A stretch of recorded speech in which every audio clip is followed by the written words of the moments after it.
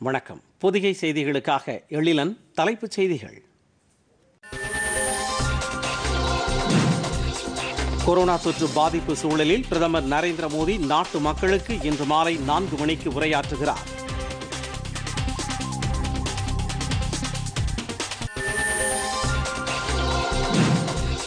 இரண்டாம் கட்ட ஊரடங்கு தளர்வு குறித்த வழிமுறைகளை வெளியிட்டது மத்திய உள்துறை அமைச்சகம். நாடு முழுவதும் ஜூலை முப்பத்து ஒன்றாம் தேதி வரை மெட்ரோ ரயில் திரையரங்குகளுக்கு அனுமதி இல்லை.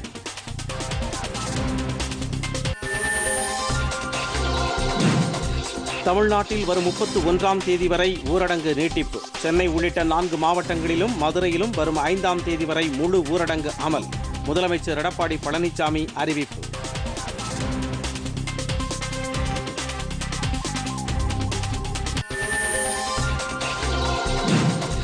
லடாக் எல்லையில் ஏற்பட்ட பதற்றம் இந்திய சீன ராணுவ அதிகாரிகள் இன்று மூன்றாம் கட்ட பேச்சுவார்த்தை.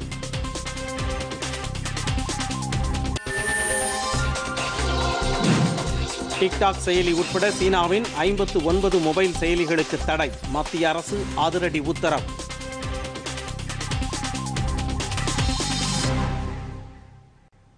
விரிவான செய்திகள்.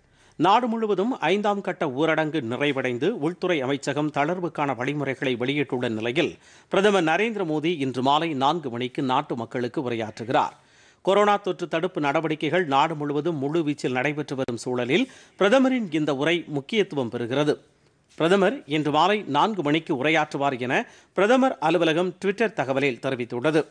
நாளை முதல் நாடு முழுவதும் ஊரடங்கு உத்தரவு தொடர்பான வழிமுறைகளை மத்திய உள்துறை அமைச்சகம் வெளியிட்டிருப்பதை அடுத்து பிரதமரின் இன்றைய உரையில் பல்வேறு முக்கிய அறிவிப்புகள் இடம்பெறலாம் என எதிர்பார்க்கப்படுகிறது. தவிர நாடு முழுவதும் கொரோனா தொற்றால் பாதிக்கப்பட்டோரின் எண்ணிக்கை ஐந்து லட்சத்து ஐம்பதாயிரத்தை நெருங்கியுள்ள நிலையில் இந்த தொற்றை தடுக்க மேற்கொள்ள வேண்டிய தொடர் நடவடிக்கைகள் மற்றும் மாநிலங்களில் நிலவும் தற்போதைய சூழல் உள்ளிட்டவை குறித்தும் பிரதமர் தமது உரையில் சில அறிவிப்புகளை வெளியிடுவார் என அரசு வட்டார தகவல்கள் தெரிவிக்கின்றன. நாடு முழுவதும் கொரோனா தொற்று பரவலை கருத்தில் கொண்டு இன்றுடன் நிறைவடையும் ஊரடங்கு உத்தரவை மேலும் ஒரு மாத காலத்திற்கு சில தளர்வுகளுடன் நீட்டிக்க மத்திய அரசு முடிவு செய்துள்ளது. இது தொடர்பாக மத்திய உள்துறை அமைச்சகம் நேற்று வெளியிட்டுள்ள வழிமுறைகளில் தற்போது நடைமுறையில் உள்ள கல்வி நிறுவனங்கள் மெட்ரோ ரயில் சேவைகள் திரையரங்குகள் உடற்பயிற்சி கூடங்கள் ஆகியன தொடர்ந்து மூடப்பட்டிருக்கும் என தெரிவிக்கப்பட்டுள்ளது. உள்நாட்டு வெளிநாட்டு விமான சேவைகளை பொறுத்தவரை ஏற்கனவே தற்பொழுது இயக்கப்பட்ட போதிலும் படிப்படியாக அதன் எண்ணிக்கை அதிகரிக்கப்படும். மாநிலங்களுக்கு இடையே இயக்கப்படும் பயணிகள் ரயில் சேவையும் தற்போதுள்ள குறைந்த எண்ணிக்கையில் இருந்து தேவைக்கு ஏற்ப விரிவுபடுத்தப்படும் என உள்துறை அமைச்சகம் தெரிவித்துள்ளது. பல்வேறு மாநிலங்கள் மற்றும் யூனியன் பிரதேசங்களிடம் இருந்து வரப்பெற்ற கருத்துக்களின் அடிப்படையில் புதிய வழிமுறைகள் வெளியிடப்பட்டுள்ளன. மேலும் பல்வேறு அமைச்சகங்கள் மற்றும் சம்பந்தப்பட்ட துறைகளுடன் மத்திய அரசு நடத்திய ஆலோசனையை தொடர்ந்து இந்த வழிமுறைகள் வெளியிடப்பட்டுள்ளதாக உள்துறை செயலாளர் அஜய் பல்லா தெரிவித்துள்ளார். நாடு முழுவதும் இரவு பத்து மணி முதல் காலை ஐந்து மணி வரை அத்தியாவசிய பணிகள் தவிர்த்து இதர பணிகளுக்கான தடை தொடரும். கடந்த மே மாதம் முப்பதாம் தேதி உள்துறை அமைச்சகம் வெளியிட்ட வழிமுறைகளில் சில தளர்வுகள் அறிவிக்கப்பட்டன. அதன்படி தமிழகம் உள்ளிட்ட சில மாநிலங்கள் தவிர்த்து கட்டுப்பாட்டு பகுதிகள் தவிர்த்து பிற இடங்களில் வழிபாட்டு தலங்கள் உணவகங்கள் வர்த்தக வளாகங்கள் போன்றவை ஜூன் எட்டாம் தேதி முதல் இயங்க அனுமதி வழங்கப்பட்டது. தவிர சமுதாய அரசியல் மற்றும் கலாச்சார நிகழ்ச்சிகளுக்கு உள்ள தடை தொடரும்.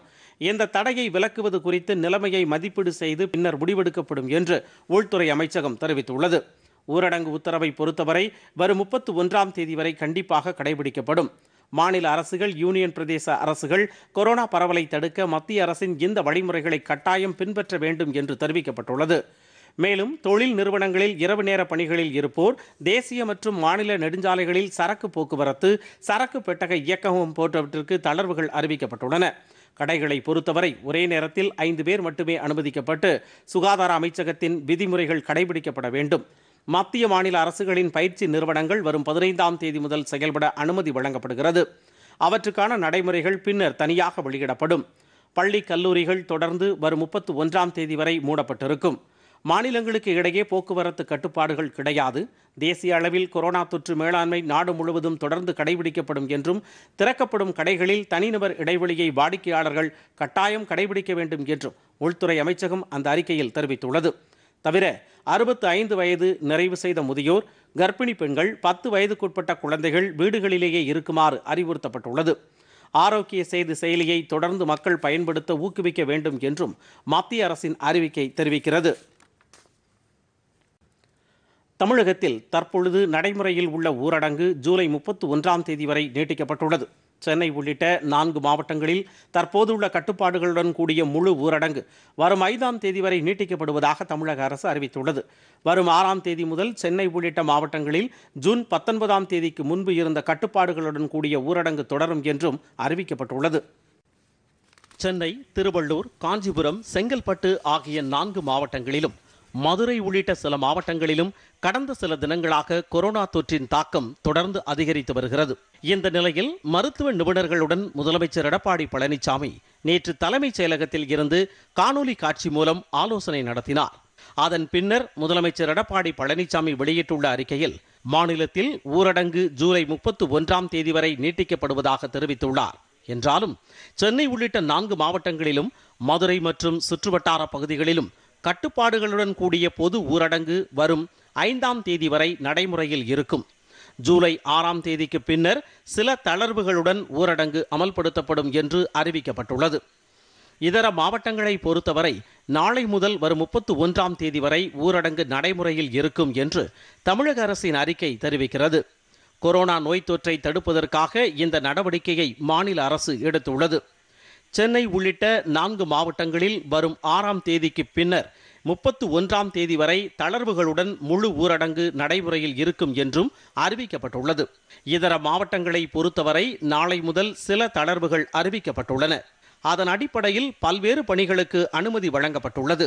மாவட்டங்களில் இயக்கப்பட்டு வரும் தனியார் மற்றும் அரசு போக்குவரத்து சேவை நாளை முதல் வரும் பதினைந்தாம் தேதி வரை தற்காலிகமாக நிறுத்தப்பட்டுள்ளது. மாவட்டங்களுக்குள் இ பாஸ் இல்லாமல் செல்லலாம். மாவட்டங்களுக்கு இடையே இ பாஸ் இல்லாமல் மாநிலங்களுக்கு இடையே இ பாஸ் இல்லாமல் அனுமதி கிடையாது என்று அரசு தெரிவித்துள்ளது. மேலும் அடுத்த மாதத்தில் ஐந்தாம் தேதி தொடங்கி வரும் நான்கு ஞாயிற்றுக்கிழமைகளிலும் தளர்வுகள் இல்லாத முழு ஊரடங்கு மாநிலம் முழுவதும் அமல்படுத்தப்படும் என்று தெரிவிக்கப்பட்டுள்ளது. திருமணம் மற்றும் இறுதி ஊர்வலங்கள் போன்றவற்றில் ஐம்பது பேருக்கு மேல் பங்கேற்க கூடாது என அறிவிக்கப்பட்டுள்ளது. மாநகராட்சி நகராட்சி பேரூராட்சிகள் தவிர கிராமப்புறங்களில் உள்ள சிறிய கோவில்களில் பொதுமக்கள் தரிசனத்திற்கு அனுமதி வழங்கப்பட்டுள்ளது. பத்தாயிரம் ரூபாய்க்கு குறைவாக ஆண்டு வருமானம் உள்ள கிராமப்புற சிறிய கோவில்கள் மசூதிகள் தர்காக்கள் தேவாலயங்களில் பொதுமக்கள் தரிசனத்திற்கு அனுமதி அளிக்கப்படும். இந்த வழிபாட்டு தலங்களிலும் தனிநபர் இடைவெளி முகக்கவசம் உள்ளிட்ட விதிமுறைகளை தவறாமல் கடைபிடிக்க வேண்டும் என அறிவுறுத்தப்பட்டுள்ளது. இதர பகுதிகளில் உள்ள வழிபாட்டு தலங்களில் தற்போதைய நிலையே தொடரும் என்று மாநில அரசு தெரிவித்துள்ளது. சென்னை உள்ளிட்ட நான்கு மாவட்டங்கள் மற்றும் மதுரை மாவட்டத்தில் உள்ள கிராமப்புற கோவில்களில் வரும் ஆறாம் தேதிக்கு பிறகே பொதுமக்கள் தரிசனத்திற்கு அனுமதி வழங்கப்படுகிறது. ஆட்டோக்களில் ஓட்டுநர் தவிர்த்து இரண்டு பயணிகள் மட்டுமே பயணம் செய்யலாம். சைக்கிள் ரிக்ஷாவுக்கு அனுமதி அளிக்கப்பட்டுள்ளது. வாடகை கார்களில் ஓட்டுநர் தவிர்த்து மூன்று பயணிகளுடன் இயங்கலாம். முடித்திருத்தும் நிலையங்கள் குளிர்சாதன வசதி இல்லாமல் செயல்பட அனுமதி அளிக்கப்பட்டுள்ளது. இறைச்சி கடைகள் மீன் கடைகளில் மக்கள் தனிநபர் இடைவெளியை கடைபிடித்து அரசின் விதிமுறைகளை பின்பற்றி நடந்து கொள்ள வேண்டும் என அறிவுறுத்தப்பட்டுள்ளது. தகவல் தொழில்நுட்பம் மற்றும் அது சார்ந்த சேவை நிறுவனங்களில் அதிகபட்சமாக எண்பது பேருடன் செயல்படலாம். அனைத்து தனியார் தொழில் நிறுவனங்கள் ஐம்பது சதவிகித பணியாளர்களுடன் செயல்பட அனுமதி அளிக்கப்பட்டுள்ளது. மால்கள் போன்ற வணிக வளாகங்கள் தவிர்த்து அனைத்து ஷோரூம்கள் மற்றும் பெரிய கடைகள் ஐம்பது சதவிகித பணியாளர்களுடன் செயல்படலாம்.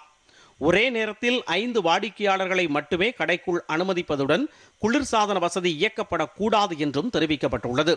உணவகங்களை பொறுத்தவரை ஐம்பது சதவிகித இருக்கைகளில் வாடிக்கையாளர்கள் அமர்ந்து சாப்பிட அனுமதி அளிக்கப்பட்டுள்ளது. என்றாலும் குளிர்சாதன வசதி இயக்கப்படக்கூடாது.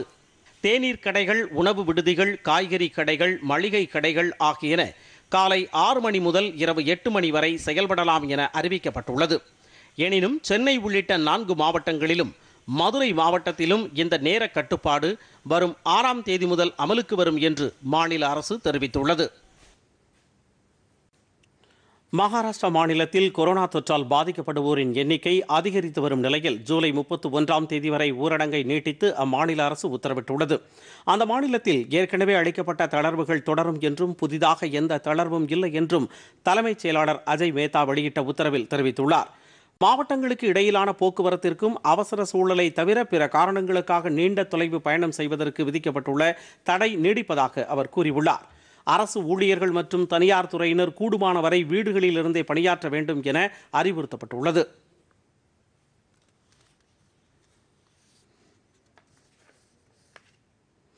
இதற்கிடையே மேற்கு வங்க மாநிலத்திலும் அடுத்த மாதம் முப்பத்தி ஒன்றாம் தேதி வரை ஊரடங்கை நீட்டித்து அம்மாநில முதலமைச்சர் மம்தா பானர்ஜி ஏற்கனவே அறிவித்துள்ளார் என்பது குறிப்பிடத்தக்கது.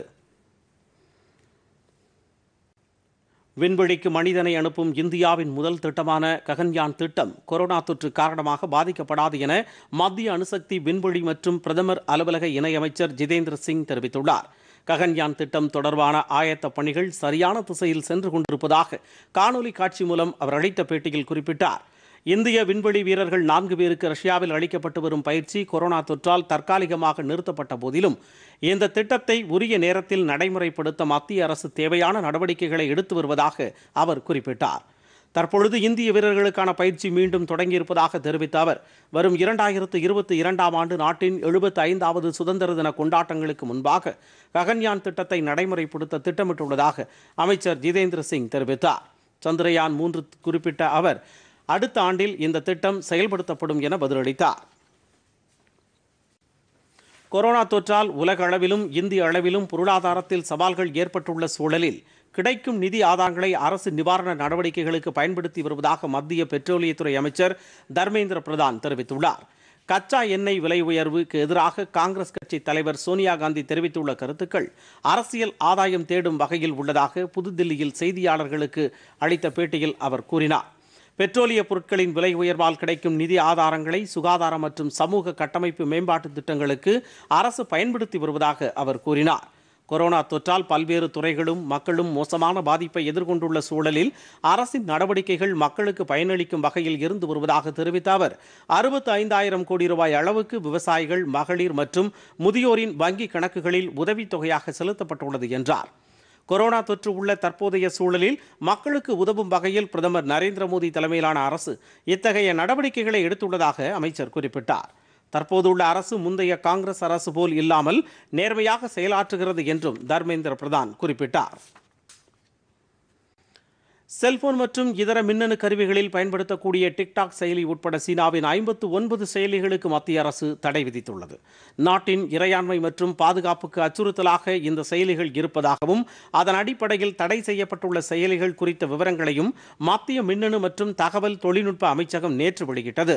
ஷாரிட் கேம் ஸ்கேனர் ஹலோ உள்ளிட்ட செயலிகள் இதில் அடங்கும் என்றும் தகவல் தொழில்நுட்ப சட்டப்பிரிவு அறுபத்து ஒன்பது ஏ கீழின்படி இந்த செயலிகளுக்கு தடை விதிக்க அரசு முடிவு செய்திருப்பதாகவும் அந்த உத்தரவில் தெரிவிக்கப்பட்டுள்ளது.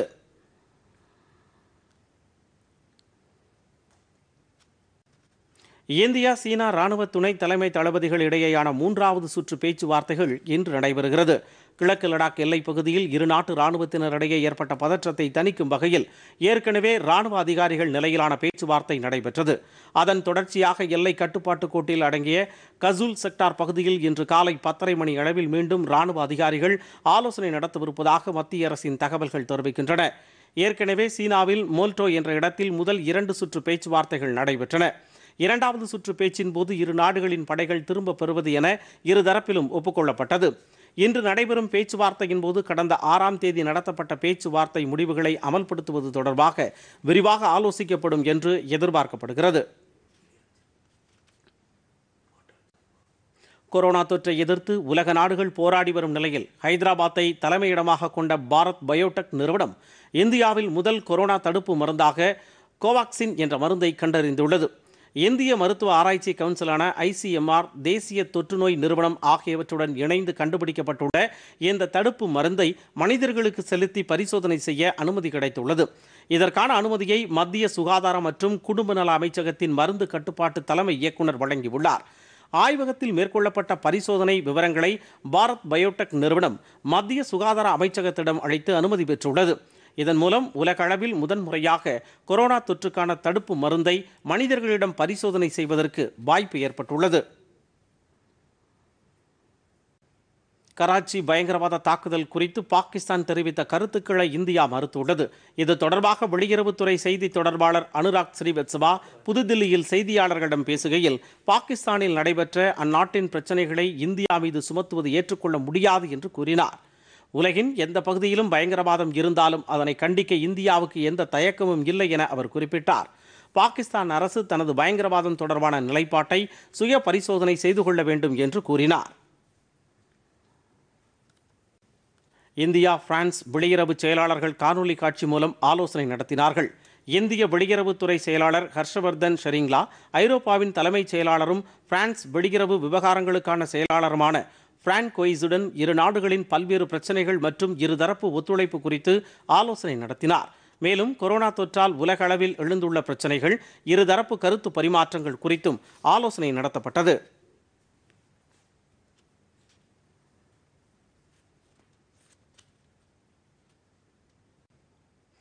இந்திய உணவுக் கழகத்திடம் போதிய அளவு உணவு தானியங்கள் உள்ளதாகவும் ஜூன் முப்பதாம் தேதி வரையிலான காலகட்டத்தில் எழுநூற்று நாற்பத்தைந்து லட்சம் மெட்ரிக் டன் அரிசி மற்றும் முன்னூற்று எண்பத்தி எட்டு லட்சம் மெட்ரிக் டன் கோதுமை ஆகியன கொள்முதல் செய்யப்பட்டிருப்பதாகவும் மத்திய அரசு தெரிவித்துள்ளது.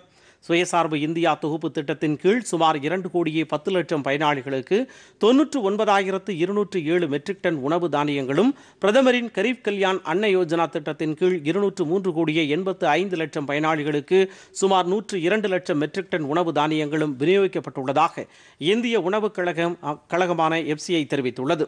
வரும் டிசம்பர் மாதத்திற்குள் அனைத்து மாநிலங்களிலும் ஒரே நாடு ஒரே குடும்பம் அட்டை திட்டம் அமல்படுத்தப்படும் என எதிர்பார்க்கப்படும் என அந்த அறிக்கை தெரிவிக்கிறது. பருப்பு வகைகளை பொறுத்தவரை மூன்று மாதங்களுக்கு தேவையான பருப்பு வகைகள் கையிருப்பில் உள்ளதாக உணவுக் கழக அறிக்கை தெரிவிக்கிறது.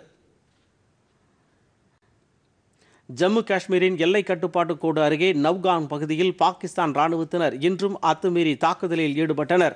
சண்டை நிறுத்த ஒப்பந்தத்தை மீறி பாகிஸ்தான் ராணுவத்தினர் இன்று காலை திடீர் துப்பாக்கிச் சூட்டில் ஈடுபட்டதாகவும் மார்டர் குண்டுகளை வீசி தாக்குதலில் ஈடுபட்டதாகவும் ராணுவ அதிகாரிகள் தெரிவித்தனர். பாகிஸ்தானின் தாக்குதலுக்கு இந்திய ராணுவத்தினரும் பதிலடி தாக்குதல் கொடுத்ததாக அதிகாரிகள் தெரிவித்தனர் என்றாலும் இந்த தாக்குதலில் உயிரிழப்பு குறித்த தகவல் ஏதும் இல்லை.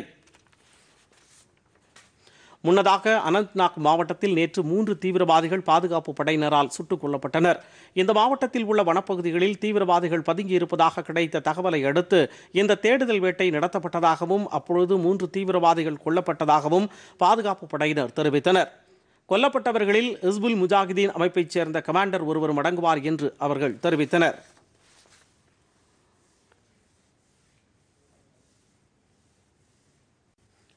விவசாயிகளின் இருப்பிடத்திற்கே சென்று மண் பரிசோதனை செய்யக்கூடிய நடமாறும் பரிசோதனை ஆய்வகங்களை தேசிய உர நிறுவனமான என்எஃப்எல் தொடங்கி வைத்துள்ளது. இந்த வகையில் ஐந்து நடமாடும் மண் பரிசோதனை ஆய்வகங்களை என்எஃப்எல் தலைவர் மற்றும் நிர்வாக இயக்குனர் வி. என். தத் நேற்று நொய்டாவில் கொடியசைத்து தொடங்கி வைத்தார். விவசாயிகள் தங்கள் நிலங்களில் உரிய உரங்களை பயன்படுத்துவதை ஊக்குவிக்கும் வகையில் இந்த மண் பரிசோதனை ஆய்வகங்கள் ஏற்படுத்தப்பட்டு தொடங்கி வைக்கப்பட்டுள்ளன.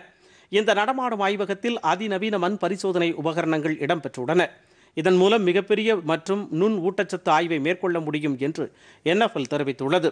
மேலும் இந்த நடமாடும் ஆய்வகத்தில் விவசாயிகளின் பல்வேறு சந்தேகங்களை போக்கக்கூடிய வகையில் அவர்களுக்கு விழிப்புணர்வை ஏற்படுத்தும் ஒலி ஒளி காட்சிகளும் இடம்பெற்றிருப்பதாக தெரிவிக்கப்பட்டுள்ளது. கடந்த ஆண்டில் மட்டும் இருபத்தி ஐந்தாயிரம் விவசாயிகளுக்கு இலவசமாக மண் பரிசோதனை செய்யப்பட்டுள்ளதாக கூறப்பட்டுள்ளது.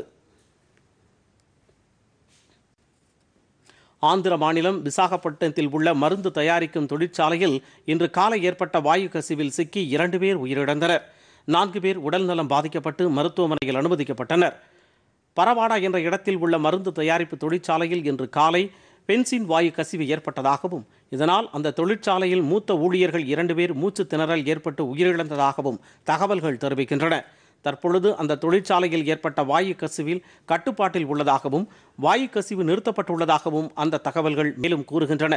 உடல்நலம் பாதிக்கப்பட்ட நான்கு பேரும் கஜுவாகா மருத்துவமனையில் அனுமதிக்கப்பட்டு சிகிச்சை அளிக்கப்பட்டு வருவதாக மாவட்ட ஆட்சியர் மற்றும் காவல்துறை ஆணையாளர் ஆகியோர் தெரிவித்தனர். வாயு கசிவு ஏற்பட்டதற்கான காரணம் குறித்து காவல்துறையினர் விசாரணை நடத்தி வருகின்றனர்.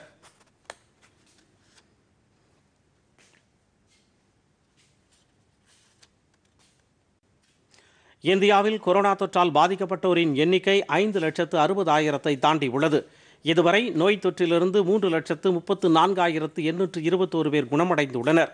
குணமடைவோர் விகிதம் ஐம்பத்தி எட்டு புள்ளி ஆறு ஏழு சதவிகிதமாக அதிகரித்துள்ளது என மத்திய சுகாதார அமைச்சகம் தெரிவித்துள்ளது.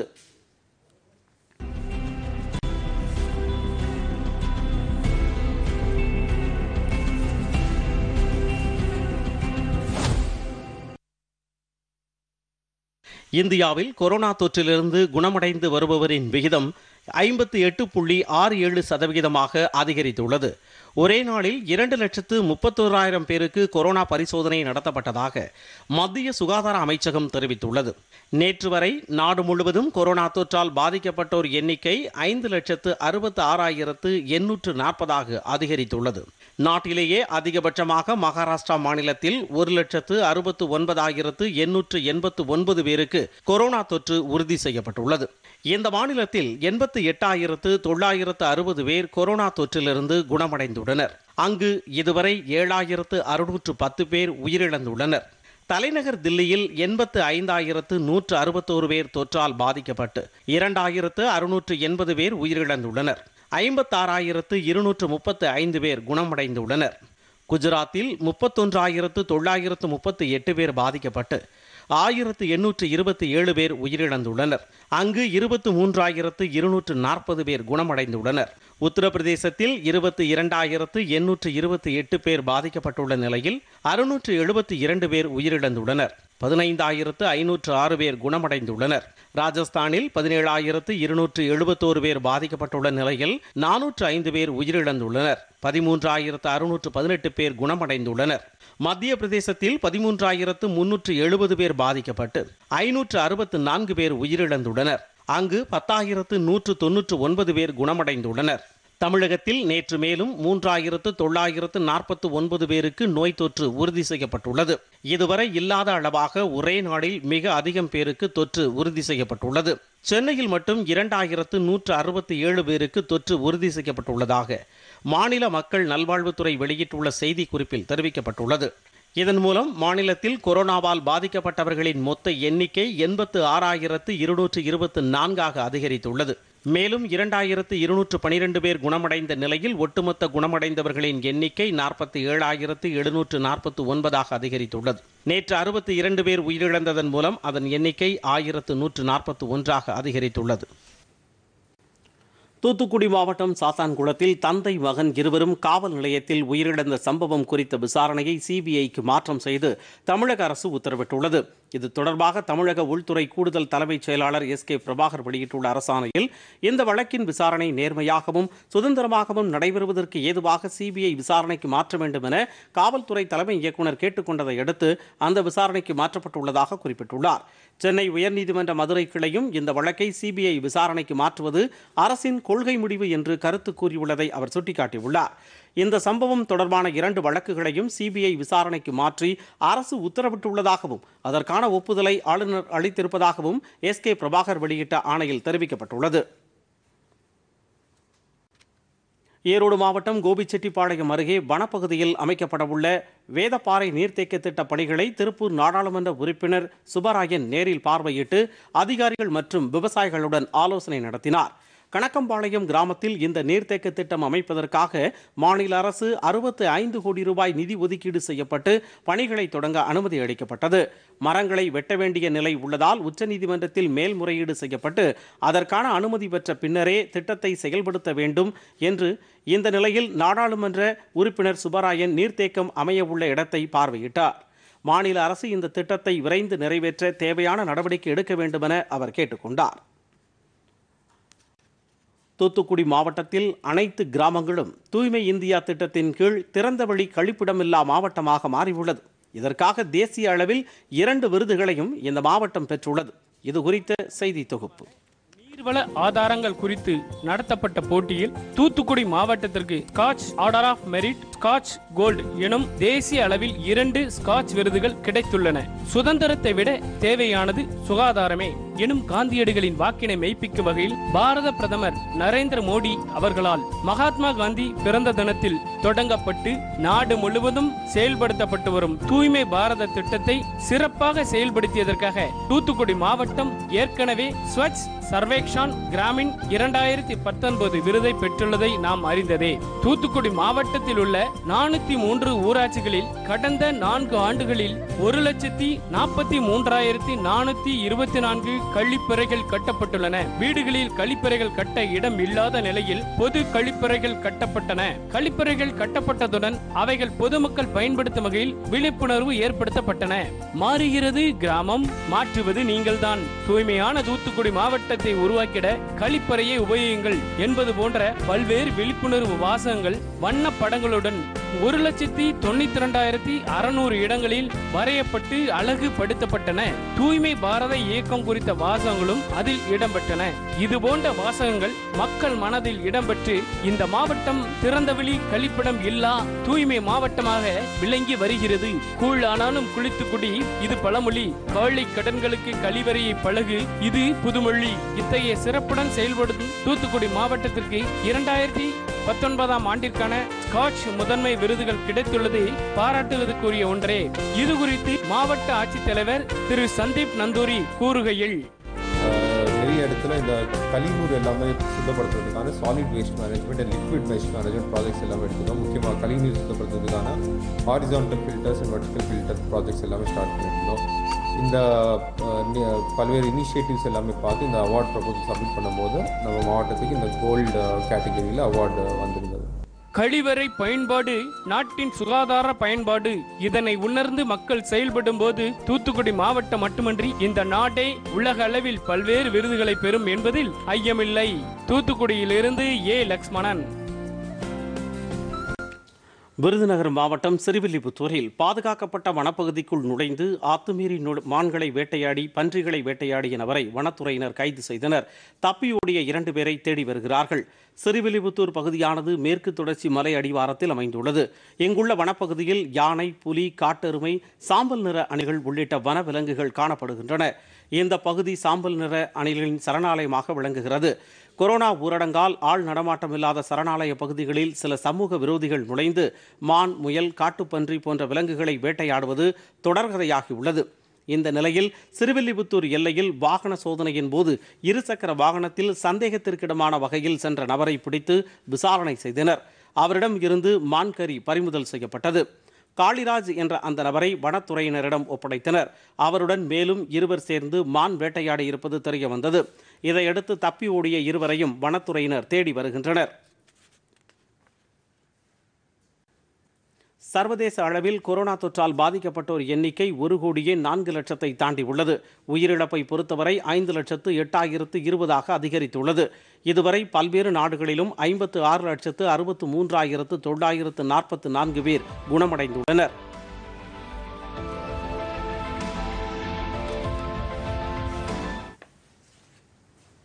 சர்வதேச அளவில் அதிகபட்சமாக அமெரிக்காவில் கொரோனா தொற்றால் பாதிக்கப்பட்டவர்களின் எண்ணிக்கை இருபத்தி ஆறு லட்சத்து எண்பத்தோராயிரத்து எண்ணூற்று பதினொன்றாக அதிகரித்துள்ளது. அந்நாட்டில் இதுவரையில் ஒரு லட்சத்து இருபத்தி எட்டாயிரத்து எழுநூற்று எண்பத்து மூன்று பேர் உயிரிழந்துள்ளனர். இதுவரையில் பதினோரு லட்சத்து பதினேழாயிரத்து நூற்று எழுபத்தி ஏழு பேர் நோய் தொற்றிலிருந்து குணமடைந்துள்ளனர். பிரேசிலில் பதிமூன்று லட்சத்து எழுபதாயிரத்து நானூற்று எண்பத்தி எட்டு பேர் பாதிக்கப்பட்டு ஐம்பத்து எட்டாயிரத்து முன்னூற்று எண்பத்து ஐந்து பேர் உயிரிழந்துள்ளனர். ஏழு லட்சத்து ஐம்பத்தி ஏழாயிரத்து நானூற்று அறுபத்தி இரண்டு பேர் குணமடைந்துள்ளனர். ரஷ்யாவில் ஆறு லட்சத்து நாற்பத்தோராயிரத்து நூற்று ஐம்பத்தாறு பேர் பாதிக்கப்பட்டு ஒன்பதாயிரத்து நூற்று அறுபத்தாறு பேர் உயிரிழந்துள்ளனர். நான்கு லட்சத்து மூன்றாயிரத்து நானூற்று முப்பது பேர் குணமடைந்துள்ளனர். இங்கிலாந்தில் பாதிப்பு எண்ணிக்கை மூன்று லட்சத்து பதினோராயிரத்து தொள்ளாயிரத்து அறுபத்து ஐந்தாகவும் உயிரிழந்தோர் எண்ணிக்கை நாற்பத்து மூன்றாயிரத்து ஐநூற்று எழுபத்து ஐந்தாகவும் உள்ளது. ஸ்பெயினில் பாதிப்பு எண்ணிக்கை இரண்டு லட்சத்து தொன்னூற்று ஆறாயிரத்து ஐம்பதாகவும் உயிரிழந்தோர் எண்ணிக்கை இருபத்தி எட்டாயிரத்து முன்னூற்று நாற்பத்து ஆறாக அதிகரித்துள்ளது. பெருநாட்டில் பாதிப்பு எண்ணிக்கை இரண்டு லட்சத்து எண்பத்து இரண்டாயிரத்து முன்னூற்று அறுபத்தைந்தாகவும் உயிரிழந்தோர் எண்ணிக்கை ஒன்பதாயிரத்து ஐநூற்று நான்காகவும் அதிகரித்துள்ளது.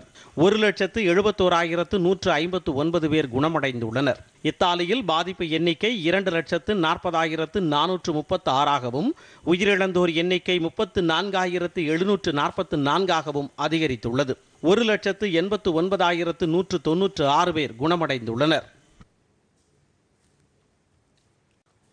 பாகிஸ்தானின் கராச்சி நகரில் பங்குச்சந்தை வர்த்தக கட்டடத்தில் தீவிரவாதிகள் நடத்திய தாக்குதலில் பாதுகாப்பு படையினர் காவல்துறை அதிகாரி உள்ளிட்ட பதினோரு பேர் உயிரிழந்தனர். பாதுகாப்பு மிக்க கட்டடத்தில் காரில் வந்த தீவிரவாதிகள் நுழைவாயிலில் இருந்து கையெறி குண்டுகளை வீசி இத்தாக்குதலில் ஈடுபட்டதாக அங்கிருந்து வரும் தகவல்கள் தெரிவிக்கின்றன. மேலும் எந்திர துப்பாக்கிகள் வெடிமருந்துகளுடன் கட்டடத்திற்குள் நுழைய முயன்ற அவர்களுடைய முயற்சியை பாதுகாப்பு படையினர் முறியடித்ததாக காவல்துறை உயரதிகாரி ஒருவர் கூறியுள்ளார். பாதுகாப்பு படையினர் நடத்திய முதற்கட்ட தாக்குதலில் தீவிரவாதி ஒருவன் கொல்லப்பட்டதாகவும் தெரிவிக்கப்பட்டுள்ளது. பின்னர் சம்பவ இடத்திற்கு வந்த காவல்துறையினர் அங்கிருந்த நான்கு தீவிரவாதிகளையும் சுட்டுக் கொன்றதாக காவல்துறையின் தரப்பில் கூறப்பட்டுள்ளது. இச்சம்பவத்தில் பொதுமக்கள் இரண்டு பேரும் உயிரிழந்தனர். ஹாங்காங் நாட்டு பாதுகாப்புத்துறைக்கு ஹாங்காங் நாட்டிற்கு பாதுகாப்புத்துறை ஏற்றுமதியை தடை செய்து அமெரிக்க அரசு உத்தரவிட்டுள்ளது. ஹாங்காங்கில் இராணுவ பயன்பாட்டிற்கும் மக்களின் பயன்பாட்டிற்கும் விற்பனை செய்வதற்கு உரிமம் பெற வேண்டியது அவசியம் என்று அமெரிக்க வெளியுறவுத்துறை அமைச்சர் மைக் பாம்பியோ வாஷிங்டனில் தெரிவித்துள்ளார். ஹாங்காங்கிற்கான புதிய பாதுகாப்பு சட்டத்தை சீனா நடைமுறைப்படுத்தியுள்ள நிலையில் அமெரிக்காவின் இந்த அறிவிப்பு முக்கியத்துவம் பெற்றுள்ளது. பிரிட்டிஷ் கட்டுப்பாட்டில் இருந்து ஹாங்காங் மீது சீன அரசு பல்வேறு கட்டுப்பாடுகளை விதித்த நிலையில் தற்பொழுது அங்கு பாதுகாப்பு ஏற்றுமதியை அமெரிக்கா தடை செய்திருப்பது குறிப்பிடத்தக்கது. வளிமண்டல மேலடுக்கு சுழற்சி மற்றும் வெப்பச்சலனம் காரணமாக தமிழகத்தில் அடுத்த இருபத்தி நான்கு மணி நேரத்தில் கோவை நீலகிரி தேனி திண்டுக்கல் ஈரோடு மற்றும் புதுச்சேரி ஆகிய இடங்களில் ஓரிரு பகுதிகளில் லேசான மழை பெய்ய வாய்ப்புள்ளதாக சென்னை வானிலை ஆய்வு மையம் தெரிவித்துள்ளது. சேலம் தருமபுரி கிருஷ்ணகிரி விழுப்புரம் உள்ளிட்ட மாவட்டங்களில் ஒரு சில இடங்களில் இடியுடன் கூடிய கனமழை பெய்யக்கூடும் என்றும் வானிலை ஆய்வு மைய அறிக்கை தெரிவிக்கிறது. சென்னையை பொறுத்தவரை வானம் பொதுவாக மேகமூட்டத்துடன் காணப்படும். ஓரிரு இடங்களில் லேசானது முதல் மிதமான மழை பெய்யக்கூடும் என்றும் வானிலை ஆய்வு மையம் தெரிவித்துள்ளது. சென்னையில் அதிகபட்ச வெப்பநிலை முப்பத்தி ஆறு டிகிரி செல்சியஸாகவும் குறைந்தபட்ச வெப்பநிலை இருபத்தி ஏழு டிகிரி செல்சியஸாகவும் இருக்கும் என்று வானிலை ஆய்வு மையம் குறிப்பிட்டுள்ளது.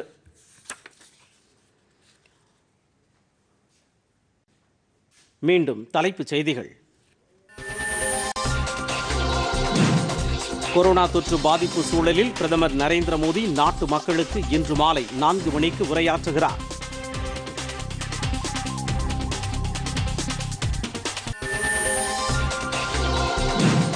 இரண்டாம் கட்ட ஊரடங்கு தளர்வு குறித்த வழிமுறைகளை வெளியிட்டது மத்திய உள்துறை அமைச்சகம்.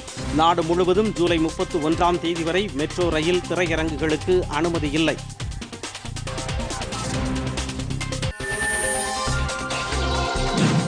தமிழ்நாட்டில் வரும் முப்பத்தி ஒன்றாம் தேதி வரை ஊரடங்கு நீட்டிப்பு. சென்னை உள்ளிட்ட நான்கு மாவட்டங்களிலும் மதுரையிலும் வரும் ஐந்தாம் தேதி வரை முழு ஊரடங்கு அமல். முதலமைச்சர் எடப்பாடி பழனிசாமி அறிவிப்பு.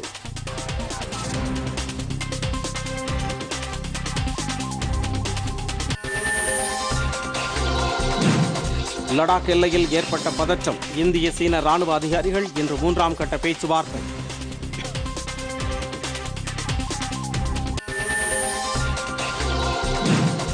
டிக்டாக் செயலி உட்பட சீனாவின் ஐம்பத்து ஒன்பது மொபைல் செயலிகளுக்கு தடை. மத்திய அரசு அதிரடி உத்தரவு.